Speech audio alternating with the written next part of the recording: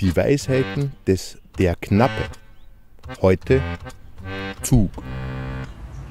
Ah ja, wenn ich auf so einem Bahnhofbankel sitze, dann muss ich mir dran denken, wie ich früher mit Opa Schach gespielt hab. Wieso? War der bei der Bahn? Aber nein, der war so langsam, da hab ich immer lang nicht auf den nächsten Zug gewartet.